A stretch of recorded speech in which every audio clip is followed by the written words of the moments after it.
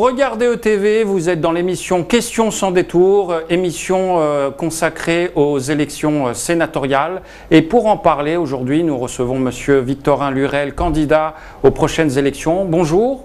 Bonjour, bonjour à toutes et à tous. Bienvenue dans les studios euh, d'ETV. Alors, Monsieur Lurel, pourquoi avez-vous choisi de briguer un poste au Sénat à ce stade de votre carrière politique?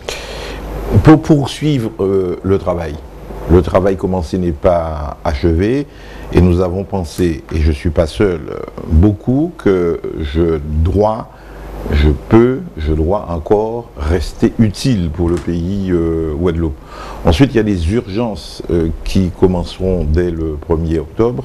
C'est la loi de finances initiale, donc le budget de l'État, il faut être déjà préparé. Je suis membre de la commission des finances.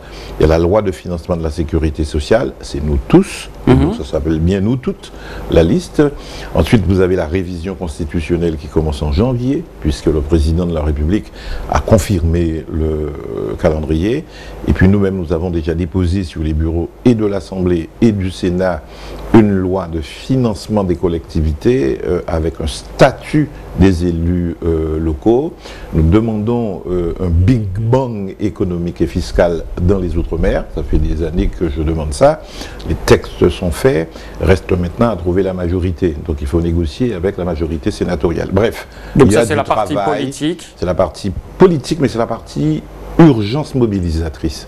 Euh, il ne faut pas être un apprenti ou un stagiaire, puisque le vote aura lieu, je crois, le 1er ou le 2 octobre du président du Sénat. Le lendemain, les vice-présidents, les commissions, les délégations, et vous commencer à travailler euh, tout de suite.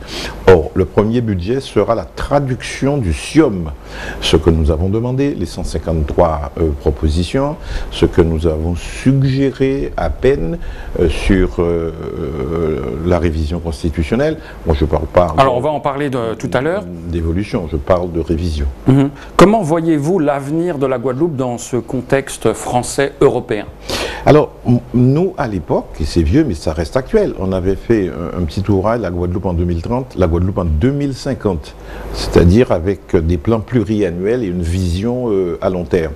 C'était quelle société voulons-nous construire.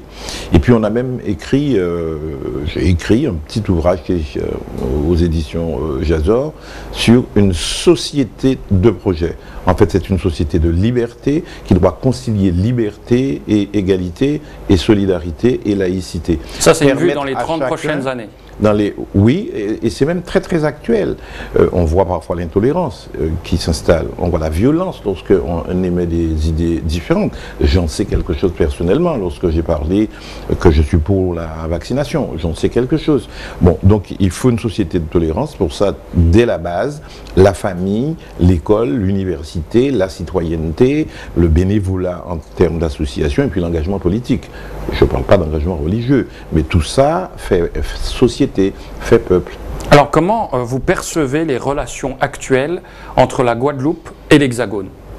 C'est un peu euh, des rapports d'incompréhension, parce qu'on a l'impression qu'il s'agit d'indifférence. Euh, et depuis 1958, j'ai bien l'impression que le président Macron est le plus mauvais président de la République pour les Outre-mer. on a l'impression d'une euh, c'est plus que de l'indifférence, je ne dirais pas du mépris, ce serait exagéré, mais c'est une verticalité et c'est une brutalité qui s'impose euh, aux Outre-mer. Il m'a personnellement dit que je ne supprimerai pas la circonscription des élections européennes. On avait trois députés européens par bassin océanique. Il l'a supprimé. Qui ne supprimerait pas François.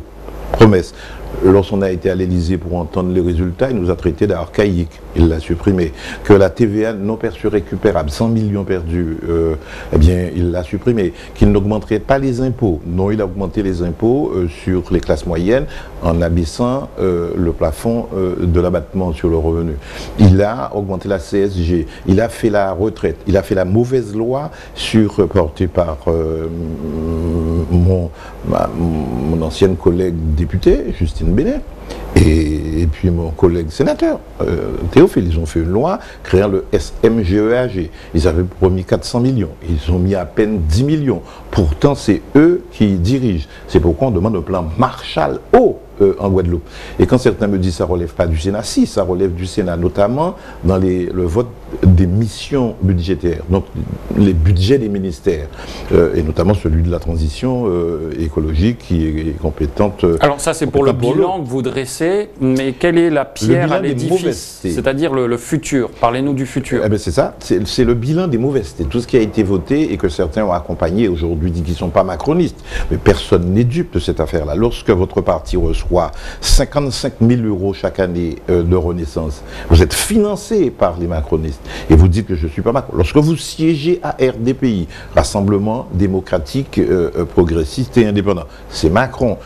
Lorsque vous votez tous les textes présentés par le gouvernement, lorsque mieux que ça, vous les portez, rédigés par Bercy et les ministères, et ce sont des mauvaisetés, ce sont des méchancetés infligées à nos territoires, prétendent devant des grands électeurs, qui sont des électeurs clairvoyants, de dire je ne suis pas Macron. C'est parce que vous savez que Macron a été rejeté euh, ici récemment. On a voté Mélenchon, on a voté Le Pen, il n'y a aucun député euh, mélenchoniste, certains sont partis dégoûtés, ils sont partis. Eh bien aujourd'hui on veut des sénateurs macronistes. Et j'ose dire, sans vouloir stigmatiser, puisque c'est une opinion politique qu'il faut respecter, tous les autres candidats sont macro-compatibles ou macronistes. Alors parlez-nous du futur. Alors, le futur, c'est ce que... futur de la Guadeloupe. Le futur, alors il y a beaucoup de choses. le futur commence à se jouer dès octobre. Ça passe d'abord à l'Assemblée nationale, ça vient au, Sénat. C'est le budget euh, de l'État. Et c'est là que la première, les premiers dispositifs, les alors, premières je, parlais de futur... Euh, concret pour les Guadeloupéens. Par exemple, quelle est la vision pour l'amélioration du système guadeloupéen au niveau de... Ah, au niveau des institutions alors. Voilà, exactement. Ah non, non, je commençais par le quotidien mhm. pour dire que le quotidien, c'est le budget qui va être voté. Et dans ce budget, il y aura des mesures.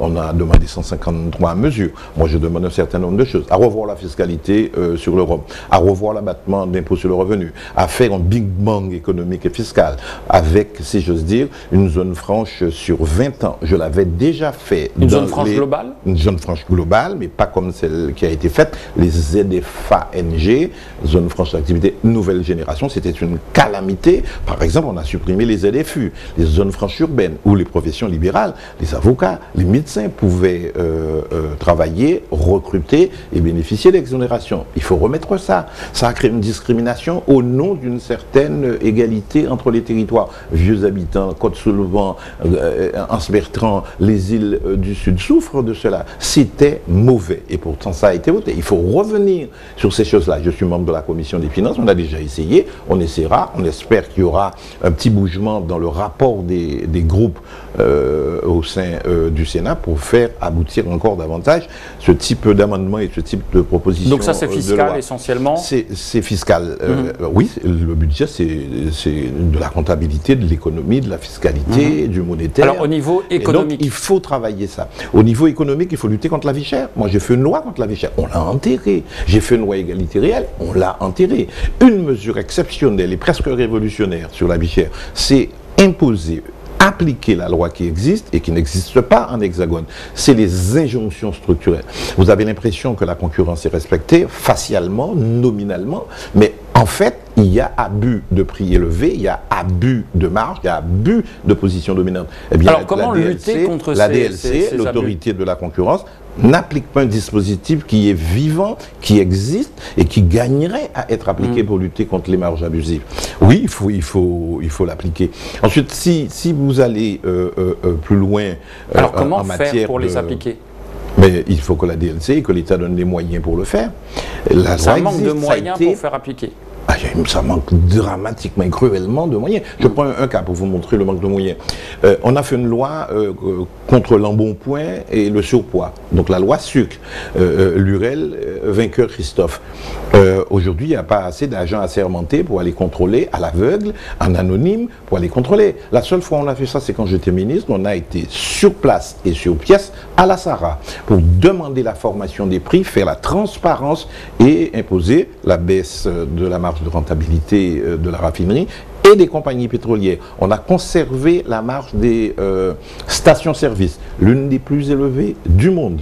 On ne sait pas ça. Et puis chaque année, on met un IPG, une indemnité de précarité des gérants, qui relève d'une irrégularité grave. C'est une conclusion parce que tout impôt, toute taxe, toute droit de doit être voté par le Parlement. C'est pas voté par le Parlement, c'est fait par le préfet par arrêté. Le préfet recède aux instructions, il le fait. Tout ça doit être mis à plat dans un Big Bang Alors, Monsieur Lurel, la Guadeloupe possède un fort potentiel géothermique. Pourtant, de nombreux Guadeloupéens estiment que pas assez d'actions ont été euh, menées dans ce domaine, euh, et notamment euh, sous votre leadership Alors, ça va même plus loin, puisqu'on prétend que j'ai bradé la centrale géothermique de Bouillante.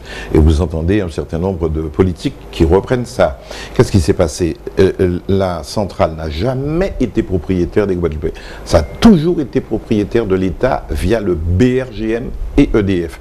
Le BRGM produisait et vendait l'électricité. Ça a fermé pendant 3 ou 4 ans. Ségolène Royal, ministre, je n'étais plus ministre, a fait un appel à candidature pour qu'il y ait un exploitant. Une seule entreprise qui a soumissionné, c'est Ormat. Il n'y a qu'une seule entreprise qui... Une seule entreprise qui a hmm. soumissionné, aucune ne voulait. J'ai vu NJ, M. Mestrali, ça s'est passé à l'Élysée. J'ai vu M. Proglio, PDG d'EDF. Il m'a dit oui, on viendra ici et à la Dominique. Il m'a dit c'est pas rentable, ils sont partis. Mestrali m'a dit on va étudier. Il a fait étudier. Il m'a dit, je préfère aller en Indonésie. Il n'y avait personne. Et plus personne ne voulait du BRGM. Alors comment vous expliquez ça des mineurs. Ben, ça, c'est de la politique politicienne pour dire qu'il faut trouver quelque chose. Moi, j'ai reçu deux ingénieurs, les frères Bougret, qui m'ont dit, ils connaissent très bien la chose et qu'ils peuvent faire un dossier. J'ai jamais vu le dossier financier. Donc, on a fait un impôt. Il y avait plusieurs choses. Ormat n'est toujours pas propriétaire à 100%. Ormat, c'est 60%. L'État, c'est 40% via le BRGM et la CDC la Caisse des dépôts et consignations. Donc c'est encore l'État et une grosse entreprise internationale. Ensuite, la centrale reste bouillante. Elle n'est pas tractée sur le littoral hexagonal. Ça, c'est une deuxième chose. La troisième chose, il y avait un impôt, 700 000 euros. C'est moi, avec une majorité socialiste, qui, euh, l'ont fait. Eh bien, aujourd'hui, j'ai trouvé mon, camarade sénateur euh, de Guadeloupe, pour l'avoir porté, baissé à 300 000 euros. Ensuite, la région a donné 650 000 euros d'exonération à cette entreprise. Mais je vais plus loin que vous, puisque vous parliez du futur. Mhm. Eh bien, on a délivré un permis exclusif de recherche dans le sud Bastère sur 120 km. Aucun élu ne sait ça. 120 km. Une seule entreprise a postulé, Terranov, avec M. Chouraki. Aujourd'hui, cette entreprise a des difficultés financières. Ça a été racheté par la SARA. Qui sait ça en Guadeloupe? Personne. On n'a pas délivré le permis exclusif de recherche. On l'a recommencé en 2021. Quel Guadeloupéen a déposé un dossier? Personne. Là, on l'a réduit sur 66 km. Et vous savez que pour faire un forage, il faut un million d'euros. Et pour faire une centrale, il faut entre 50 et 100 millions. Qui peut il est vrai, le BRGM vient d'inventer un système euh, euh, pour euh, explorer magnéto-électrique pour l'Hexagone. Il faut descendre à 5000 mètres de profondeur pour trouver de la vapeur. Chez nous, vous descendez à 300-400 mètres, vous trouvez de la vapeur euh, avec une belle intensité. C'est quelque chose d'exceptionnel. Et on a déjà découvert apparemment depuis deux forages dans ma commune à Vieux Habitants. Mais je ne veux pas qu'on traite les riverains comme on l'a fait à Bouillante. Je le dis très clairement. Aujourd'hui, la commune euh, perçoit 174 000 euros alors qu'elle aurait C'est pas beaucoup, 174 000 hein, euros. certains disent c'est déjà ça, bien sûr. Ah, la taxe de n'était pas applicable. C'est faux. On n'a pas voulu l'appliquer on a voulu aider une entreprise parce que M. Macron est très libéral. Il faut tout donner aux entreprises et on n'exige rien en réciprocité. Alors qu'est-ce qu'il faudrait exiger En termes de dividendes social, en termes de mécénat, en termes de, sponsoring, on ne fait rien. En termes d'emploi, peut-être. Et, la région devait créer une SEM énergétique ça n'a pas été créé, c'est M. Albert Elatré qui l'a créé. Aujourd'hui, c'est au CIMEG, c'est M. Daniel Dula qui en est le président, qui ne va pas manquer de réveiller cette belle endormie. Alors, on va parler un peu de santé. La santé est un, enjeu majeur pour la Guadeloupe.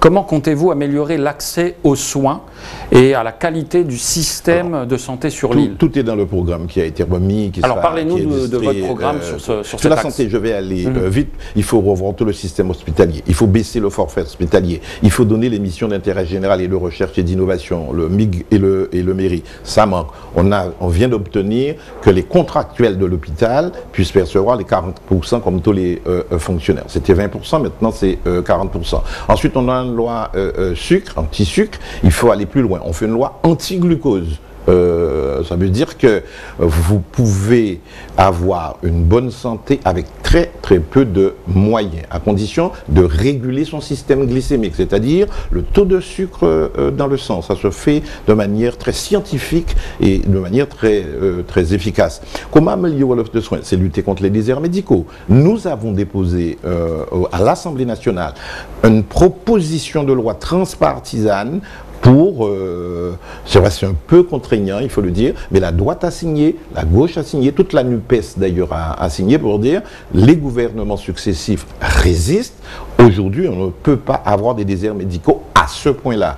Et nos îles en savent quelque chose pour les évacuations, donc les évacuations euh, sanitaires. À Terre de Haut, vous n'avez pas de médecin. Terre de Bas, il y en a euh, encore. À la Désirade, c'est un vrai souci. Il faut trouver la solution. Nous, on a proposé une solution en, en proposition de loi qui va être examiné à la rentrée. Alors, euh, comment, alors là, maintenant, on va parler de la sécurité et de la délinquance. Euh, comment percevez-vous la question de la sécurité et de la délinquance en Guadeloupe Et quelles sont les solutions euh, que vous envisagez de mettre en place? C'est très grave, le problème de la violence, de l'insécurité, des trafics de stupéfiants, des trafics d'armes, de la faiblesse des moyens en termes d'effectifs et en termes d'équipement. Ça fait pas si longtemps qu'on a un scanner euh, au port. Ça existait à l'aéroport, mais il y a un scanner, peut-être qu'il en, faut plus. Euh, la compagnie départementale d'intervention n'a que 40 agents. Il faut à minima 120 euh, agents. Il ne suffit pas d'envoyer lorsqu'il y a quelques mouvements sociaux, euh, une brigade de, euh, policiers mhm. de Alors que concrètement, il faut augmenter la CDI, il faut augmenter les moyens, il faut augmenter le FIPD, le fonds pour la prévention de la délinquance. Il y avait 650 000 euros à l'époque. Moi, région, j'avais mis 10 voitures à la disposition de la police pour faire des rondes dans la conurbation pointoise. Ça a disparu. On, on mettait des après avoir euh, vu les juges pour ne pas faire l'intrusion. Il y en a, mais il faut les entretenir. Il faut surtout les exploiter. Les, conventions entre la gendarmerie, qui eux sont des OPJ, des officiers de police judiciaire, les agents, les les policiers municipaux sont des APJ, des adjoints, donc ils n'ont pas tout le pouvoir. La coordination qu'il y a avec le CLSPD, il faut renforcer ça. Il faut avoir plus de greffiers au tribunal, plus de magistrats, plus d'agents de probation. Il faut ça. Et là, on nous raconte de belles choses. Alors, M. Dupont-Moretti vient de faire voter un, texte. J'ai voté contre parce qu'il y avait des choses affreuses dedans. Il a augmenté le budget de la justice. En revanche, euh, je n'ai pas voté. J'étais seul sur 348 sénateurs. Je me suis, j'ai pris mon autonomie de vote contre mon propre groupe qui a voté ça. Je n'ai pas voté ça. Pourquoi? On peut déclencher à distance votre téléphone, votre portable, tout ce qui est connecté chez vous. On veut limiter la parole des et, et, des cas de terrorisme. Des, des, des, magistrats et la liberté des journalistes et même des gens de presse, c'est-à-dire du concierge ou du chauffeur du journal. Oui, c'est le motif, lutter contre le terrorisme, contre le crime organisé. Mais ça se fait déjà. Cela dit, pour les journalistes. On demande à des situations de fait, comme disent les juristes. Je dis que ce n'est pas possible. Ce qui se fait aujourd'hui, d'ailleurs, lorsqu'ils le font, ils peuvent le déléguer aux Belges, aux Allemands, aux Italiens, alors que c'est interdit par la République française et par la Constitution de 58. Alors, Monsieur Lurel, on arrive au terme de cette émission. On va vous laisser euh, vous adresser aux électeurs euh, de la Guadeloupe pour euh, les convaincre de votre engagement et de votre vision de notre Guadeloupe. Alors, je dirais à la Guadeloupe, et singulièrement aux grandes électrices et aux grands électeurs que nous vous présentons à votre agrément, à votre approbation, à votre soutien, à votre confiance, une très belle liste. Votre serviteur, Gabriel Louis Carabin, que vous connaissez euh, tous, Andrea Talamer de Basser et cardiologue de son état, Geneviève Gamer, sixième, adjointe euh, au, maire de la ville de Goyave, et Teddy Marie, élu euh, de Saint-François. Ce sont des gens d'expérience, c'est une belle liste de diversité, diversité de parcours, diversité de couleurs, diversité euh, professionnelle et d'expérience, donc une liste de sagesse et des gens qui ont l'habitude de travailler avec les euh, collectivités. Par ailleurs, à vous dire que vous êtes grand électrice, grand électeur, vous êtes donc déjà élu, vous êtes euh, donc des électeurs avisés clairvoyant. Ce n'est ni un vote d'amitié, ni un vote euh, de mise sous tutelle, ni un vote de soumission. Vous êtes libre, libre de choisir les meilleurs. Nous avons peut-être cette prétention-là, de dire que cette liste-là est belle et qu'elle a déjà des résultats, qu'elle a de l'expérience, donc qui peut recueillir votre agrément. C'est la raison pour laquelle on vous demande le 24, euh, pendant la journée du dimanche, de voter ensemble, nous toutes, Merci Monsieur Lurel pour ce mot de la fin. Restez avec nous tout de suite la suite de nos programmes sur ETV. Vous regardez ETV.